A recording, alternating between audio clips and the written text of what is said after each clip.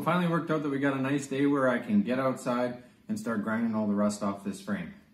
I'm going to be using a few different methods. I got a drill and a wire brush. I've got a grinder and a sanding flap wheel, grinder and a wire wheel, and then also just a regular wire brush. So let's get this thing outside and start working on it. Alrighty,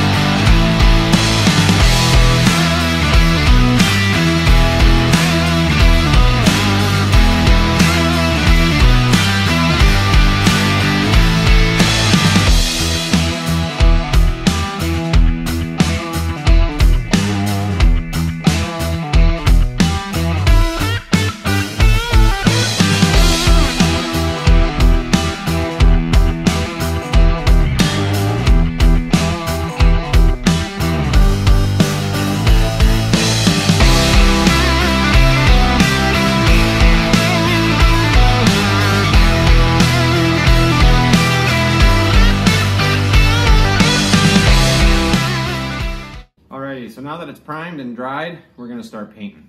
Um, same procedure with the paint as with the primer. Light coats, even passes, um, and just stick with your coating times that are um, on the can. Um, a light coat is, or many light coats are better than like one heavy coat. Uh, it just doesn't dry as well. So follow your instructions on your can. Um, we've got the trailer outside. It's a little breezy. It's gonna make painting a little bit hard, but down here in Southern Alberta, we don't have much choice. It's always windy here. So let's get her out, get her going. We're going green.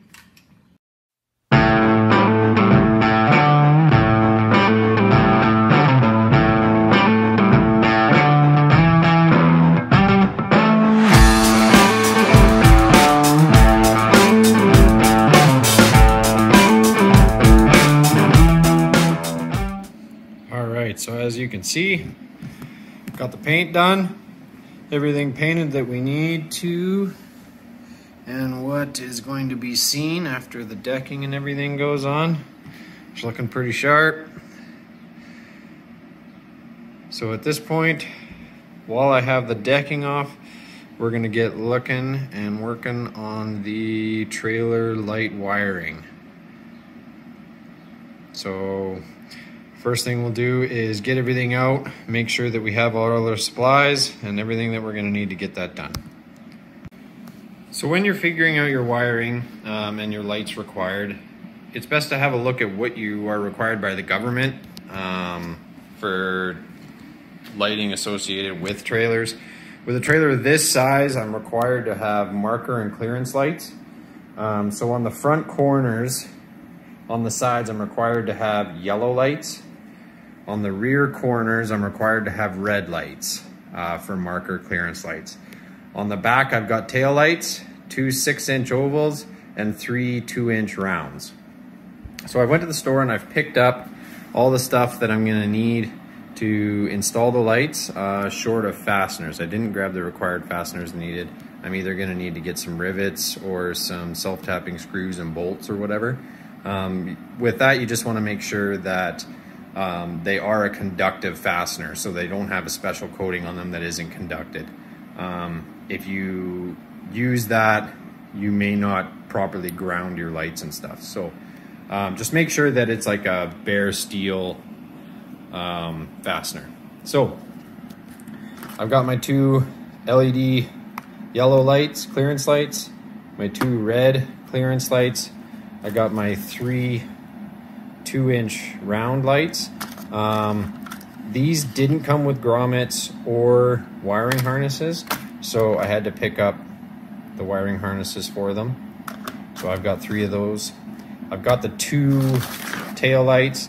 They came with grommets and wiring harnesses. These are all LED as well. I've got some split loom tubing. That's for running my wire in. I've got a seven-way junction box. That I'm going to mount to do all my splice in the back um, kind of flat panel of the trailer. I'm gonna do all my splice in that and then run it all from there. Got some cable clamps for the split loom just to hold it and secure it to the trailer. I've got the different kinds of wire, or sorry, different colors of wire. This is all 14 gauge primary wire. Um, these different colors I bought to go with um, your typical trailer wiring colors, colors just to make sure that uh, everything is clearly uh, marked and labeled and you know exactly what it's for. Um, heat shrink for my connections. I've got a whole container with all sorts of butt splice connections and ring connections and everything for all doing my terminal connections. You're gonna need to get yourself, if you don't have one already, a pair of strippers with crimpers on it to do all your connections with the uh, terminal connectors. I've got a little pen torch for doing my heat shrink. I've saved the old trailer grommets. Um, they're still good. I might still use them, might get new ones, not 100% sure yet. And this is kind of a pretty good thing to have as well. This is a little dielectric grease.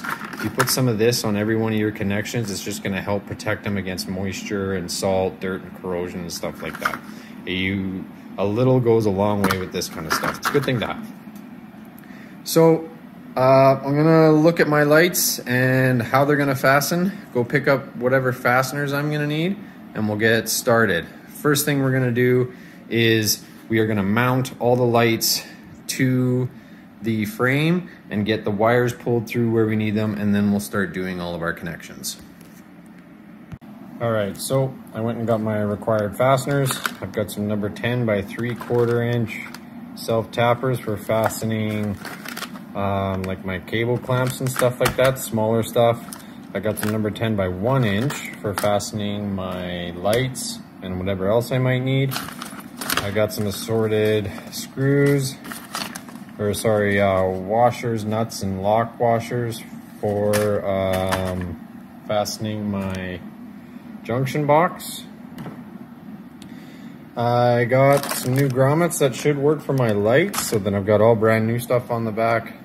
It all should be good. We are set to go. So with your clearance lights, just use a flat blade screwdriver or something uh, small and flat to get in here and pop your lens cap off. Your lens cap will come off and you'll see that you have two mounting holes and probably some indication of which wire is which. In my case, the red is gonna be positive and the black is gonna be negative or ground. Um, so what we're gonna need to do is we're gonna need to drill through the frame two holes or use self-tappers to fasten the light and then we're gonna need to drill a hole through the frame to run our wires. So we're gonna do that. So I've marked a little spot here where it's gonna, I want my light to sit and I'm gonna want my wires to run through and it'll cover up the holes from the old clearance light. Um, and just so I can't see any of that stuff. So I've got it marked, I'm gonna drill it out. I've got a 9 30 seconds drill bit. I just kind of held it up to the wires to make sure that I'm gonna have enough room. So I size my bit according to what I'm gonna need to fit the wires through.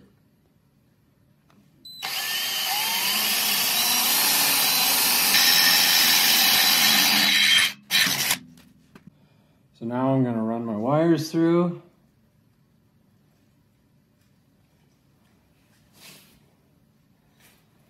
This can be a little tricky. That's why it helps going maybe a little bit bigger on your hole size. But I've got them run through like so. And now we can fasten with our self tappers and fasten the light. Um, you may want to pre-drill first with your self tapper in order to uh, make it a little bit easier, but uh, I'm gonna just do it the way the screw's intended. So a lot of guys will use an impact driver um, to do this. This is just a regular drill. Um, I recommend using a regular drill. Impact drivers sometimes can over torque a little bit and um, if your screws aren't really high quality, you can end up snapping a screw in your hole. So I recommend just using a regular drill, not an impact.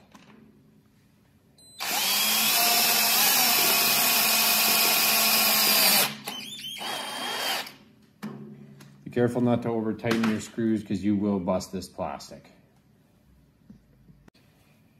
So now that we got that first one installed, you can go ahead and put your light cover back on. So we're gonna do that same thing, all four corners.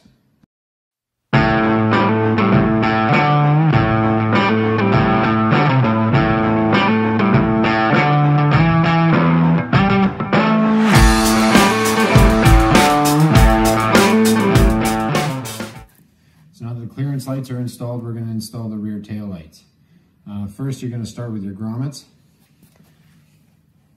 These, the frame is meant to sit in behind this and in front of this little lip here. It can be a little bit of a bear to get these things in, but I find that if you work from one side and go all the way around, it seems to be the easiest. You gotta apply quite a bit of pressure and just keep weaseling it around.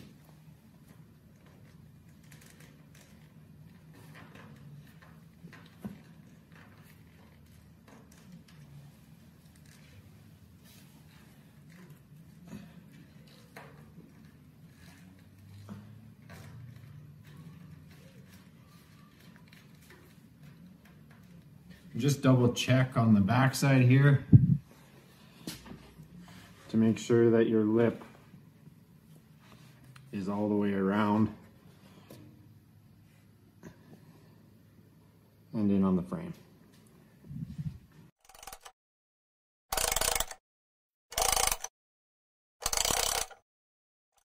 So once all your grommets are in, insert your tail lights.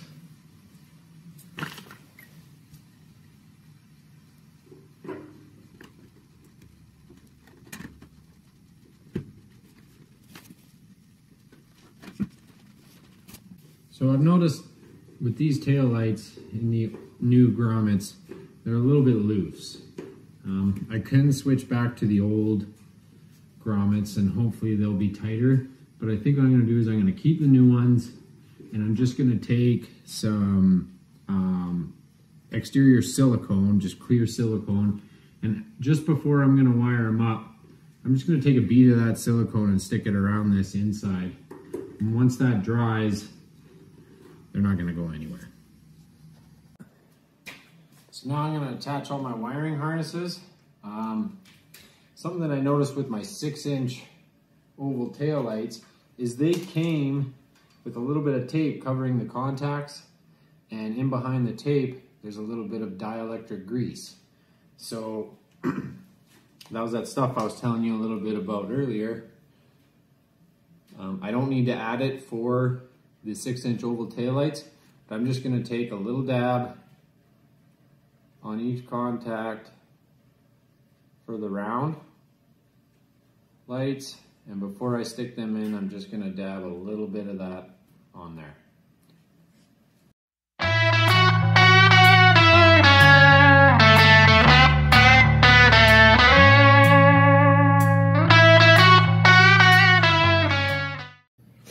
Okay, so I'm going to show you how to do a little butt connection or ring size connection like this.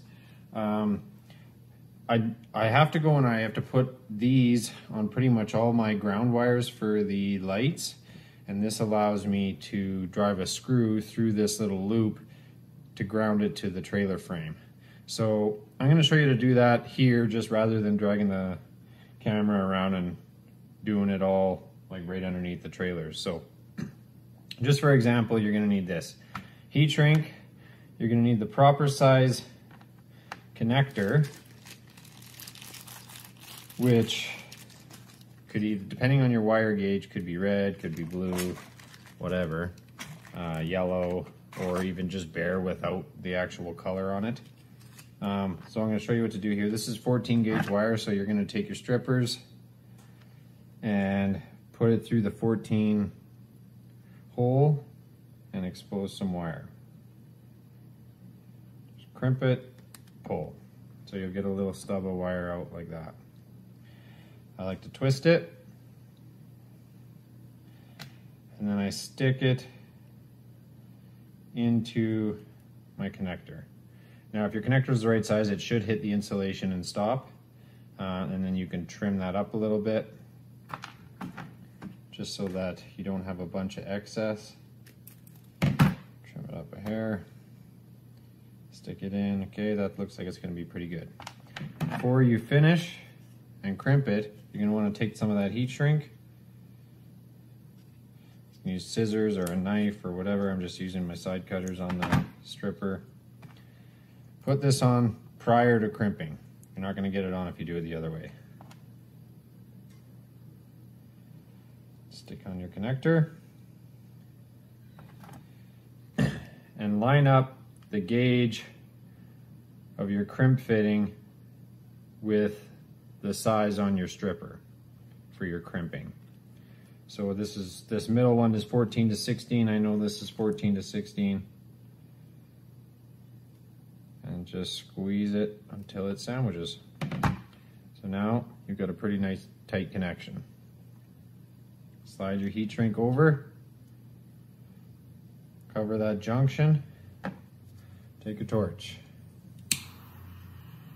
Careful not to burn it. And you'll just see it's starting to shrink around.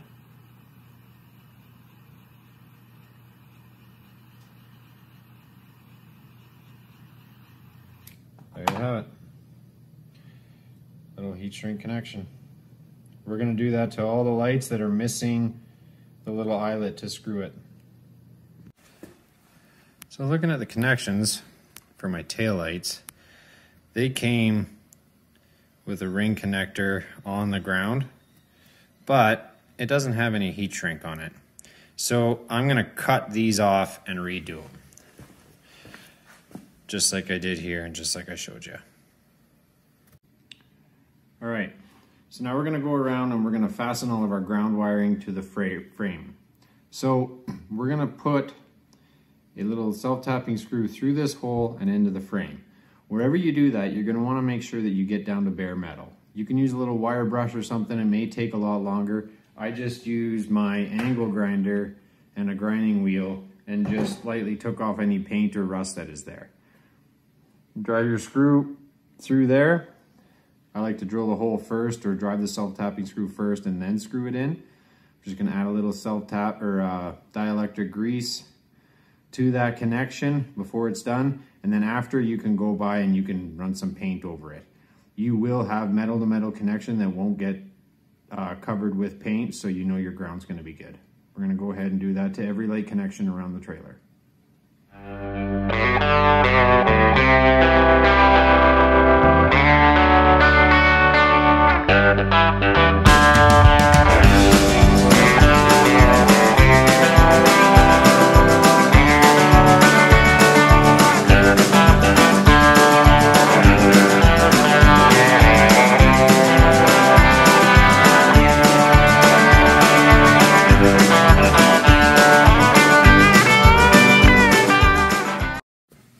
So I'm having a little bit of trouble um, finding a decent spot to ground my rear taillights, these rounds. Um, I never like putting a ground on a horizontal surface or a flat surface like this or this. Water can pool there and it doesn't drain off.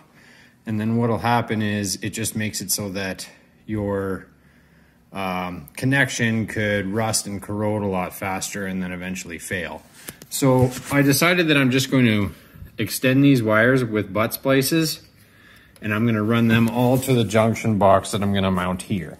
So I have used these little butt connectors. These ones are pretty nice because they got a window in them and you can see if you did it properly. And also I got some heat shrink on there. I'll put over the whole connection and shrink it down when we get to there. But that's what we're gonna do for that.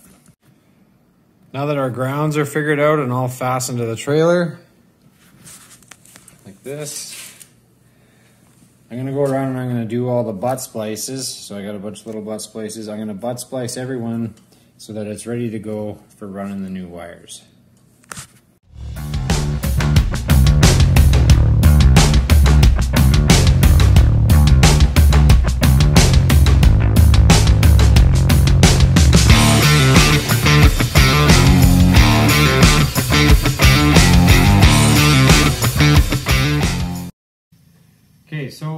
Now it's time for us to mount our junction box.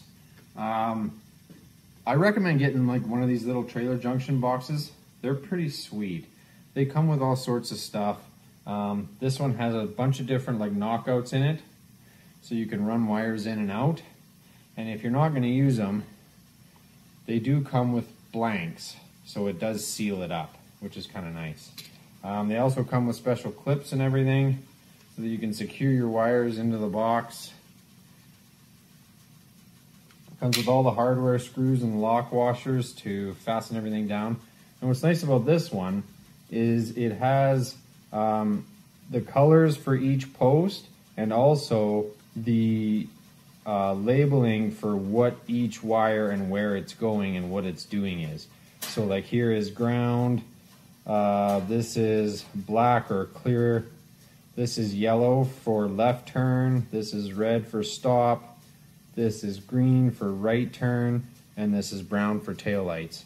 So it's pretty nice that way that it allows you to um, just kind of hook up a wire. Even if you don't have the right colored wire, you put it on that post and you can tell which uh, function the wire is doing. So I recommend getting one of these. We are gonna go and mount that. We're gonna drill two holes where we want it, fasten bolts, and get it to the inside of the back.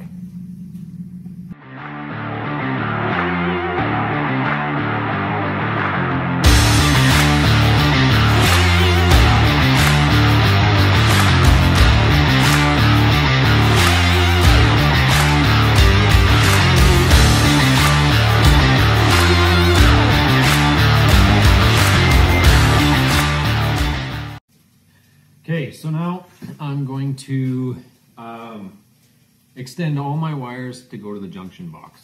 So I'm gonna take out some of the color-coded wire that I'm using for each light. So like it'll be a different color for the back tail light, different color for the brake light, different color for um, the running lights.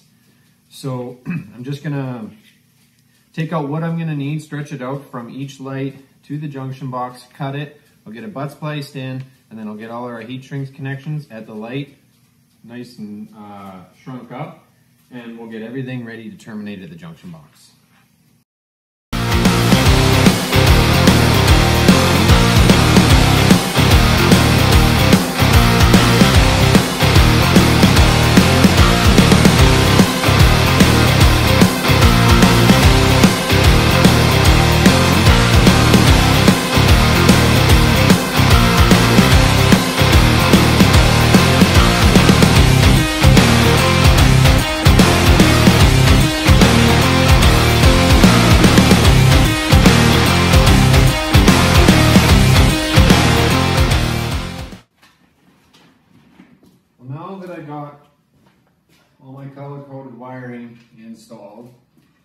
I'm gonna have three different runs of split loom tube that is gonna go to the junction box. I'm gonna have one run that comes from the left clearance light and tail light. I'm gonna have one run that comes from the three running lights on the back, and I'm gonna have one run that comes from the right clearance light and right signal light, uh, stop light that goes into the box. So we're gonna get some loom tubing, run out uh, for the proper length, get them in our junction box uh, knockouts. And what's gonna help with this, to keep the wires organized and to put the loom on, is a little bit of electrical tape. So we're gonna just kind of tighten our wires up and do a couple wraps of tape, maybe every foot, to get our proper length and everything organized, and then we'll get the tubing on.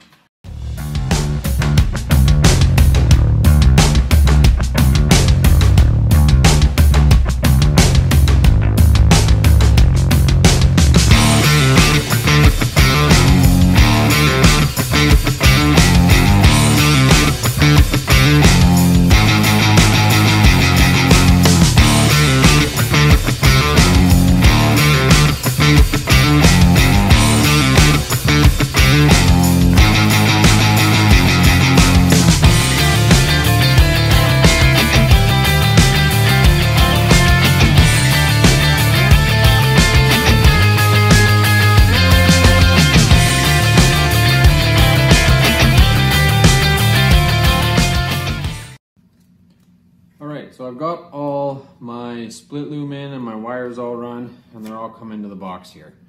I've got the main trailer wire uh, that comes from the front junction box, which is attached to the seven-way pin connector. Um, that's run into the box here as well. So that's this wire here, these ones. My first objective into tying these into the box is going to be to tie these ones onto the posts into the right and correct corresponding position. Um, why I want to put these ones in first is because if lights have to be changed, it's one less thing to have to pull off the post in order to get at your right connector. Um, so we're gonna go and tie those in. This is where your uh, your color coding on your junction box comes in handy and actually following the color of the wire. You don't have to keep track. You just know that brown is going to be your running lights, green is going to be your right signal and stop lights, whites is ground, and yellow is your left signal and stop lights. You just do your crimp or your crimp on connections and tie them onto these posts with nuts and lock washers and don't forget to put a little uh, dielectric grease. So we are going to do that. We will tie these in and then we will start doing the same with every other wire.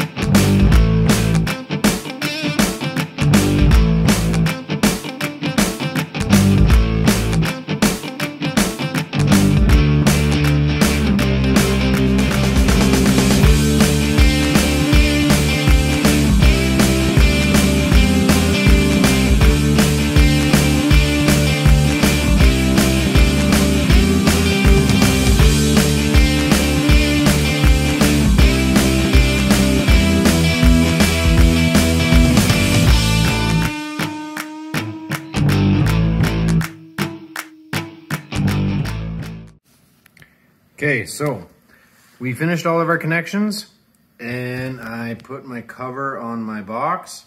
Then what I did after that was I just went around and I added like cable clips and zap straps to wherever I could just to try and organize and secure the wiring to the trailer so it's not gonna be flapping around or dangling or doing whatever. Um, one thing being is when you do your junction box, make sure that you leave your wires a little bit long. If you ever have a connection come undone and you need to trim and redo it, if you connect it banjo tight, you're not going to be able to reach the same post again. So leave them a little bit long. Um, you can loop them up in there. It's a junction box. Um, there's quite a bit of room in there to loop some wire around and stuff like that. Um, I don't or I have it covered up already so you can't really see inside, but it is a little bit crowded, but it all fit in there pretty easy. And we've got her all nice and secured, cleaned up. Everything is good. We'll get doing the front clearance lights and then we are complete with the electrical. So now the electrical's done, we are gonna go ahead and we're gonna start fastening our decking.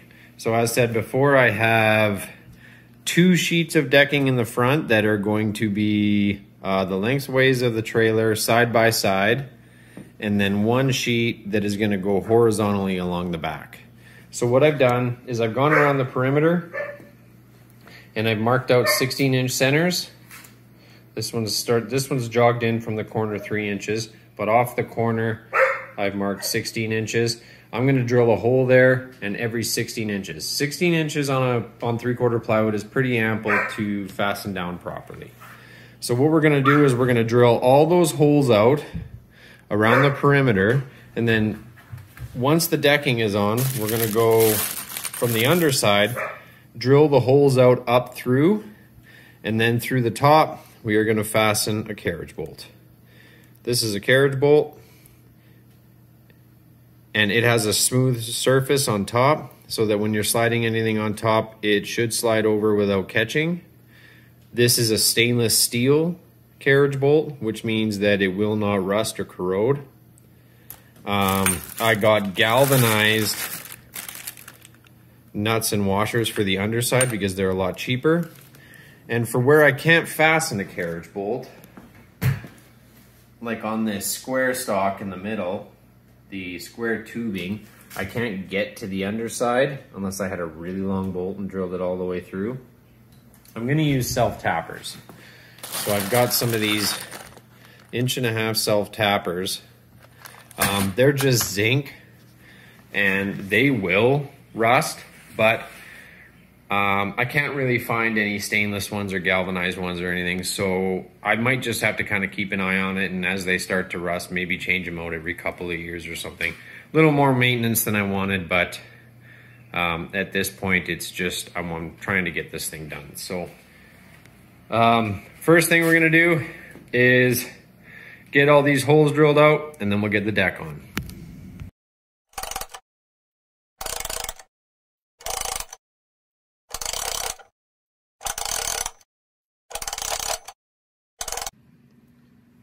Okay, so the decking is on. I'm going to show you how to start fastening your carriage bolts. This is our bolt assembly. It's a carriage bolt, a plate washer, whoops, a lock washer, and a nut, galvanized. So first thing you're going to do is go underneath And you're gonna drill up through one of the holes that you drilled.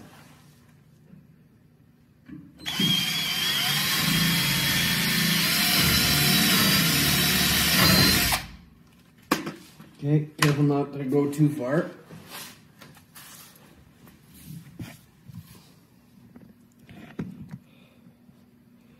Then take your carriage bolt, here out of the way take the carriage bolt, stick it in the hole.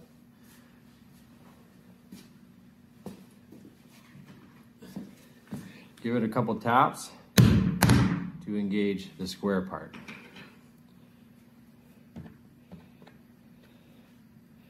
Then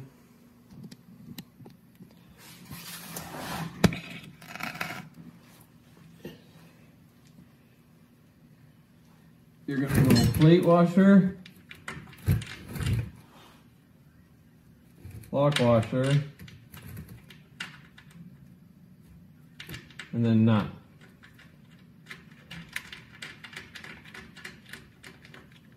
Just start it finger tight.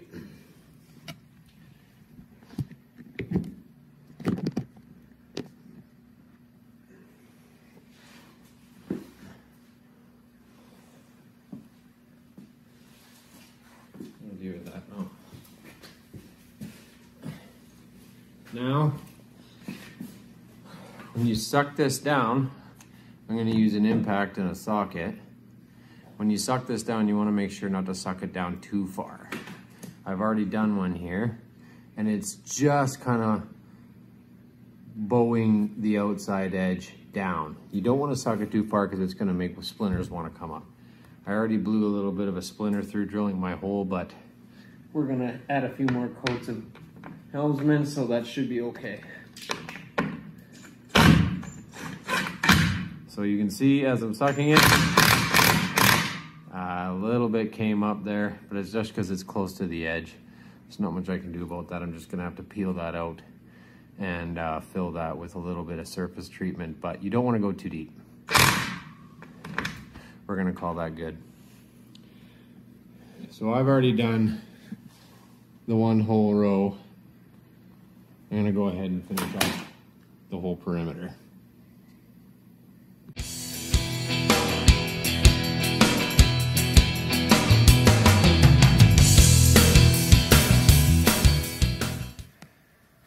Alrighty guys, well, I got the trailer all decked here. It's all fastened down the way that I showed you. And I didn't really film it, but what I did after that was I went ahead and I gave it another two coats of the Helmsman.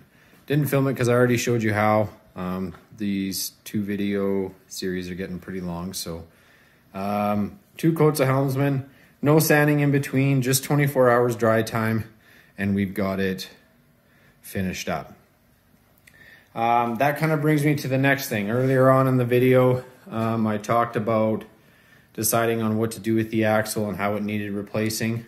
Um, I just kind of spent a little bit more money than I had planned to with this build so far. So I decided that the axle is going to be a next year project.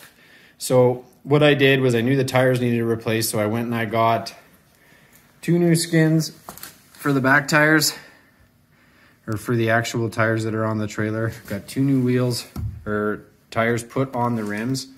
Um, I coated the rims with a what's called Protect Dip. It's basically the same thing as Plasti Dip, but I gave the coating um, to the rims just to make them look nice and black. If I don't really like it or if it starts to chip off, this stuff does just peel off. It's just like Plasti Dip.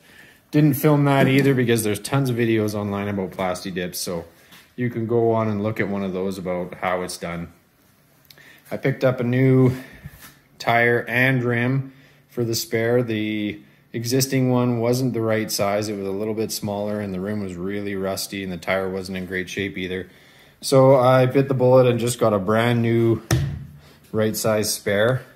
Also, um, the old one was mounted right here. So I went and picked up an actual tire mount. This one came from Canadian Tire. It's uh, it's just made for this. It's super easy to do.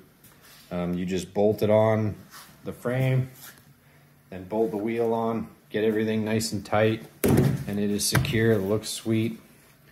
Uh, a couple other things that I didn't film here was I went to Princess Auto and I need some trailer storage. So I just picked up these plastic ammo crates. Um, this little pack itself came with all four crates. So there's a big one, two little ones, and another little one. Um, this is gonna go in here. I've got a little box here that I can probably fit my bottle jack and my bar in. Another box that I can probably put all my little straps and stuff. I can probably fit my tire iron down in the bottom of this. And this one over here, I've got my anchor and my rope in there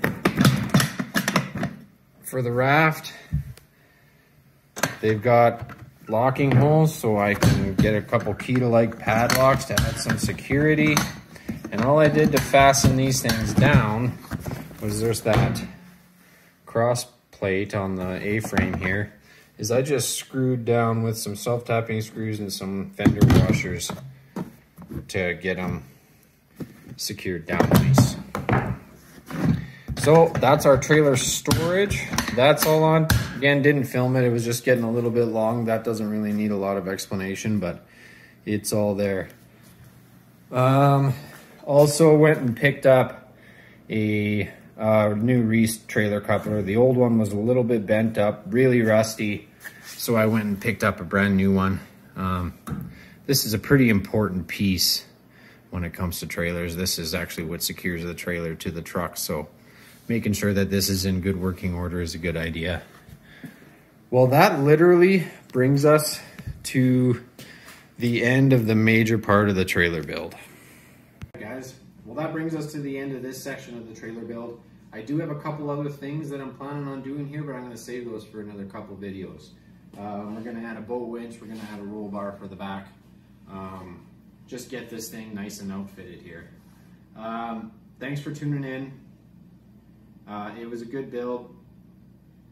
A couple things that I do differently, but all in all, I think it was a pretty good success. So um, if you have any comments, please leave them. Um, I read everything.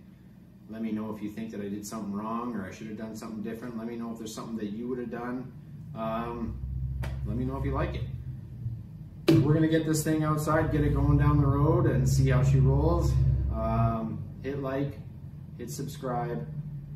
There's gonna be more stuff coming out here. Um, thanks for tuning in and we'll see you on the next project. Cheers.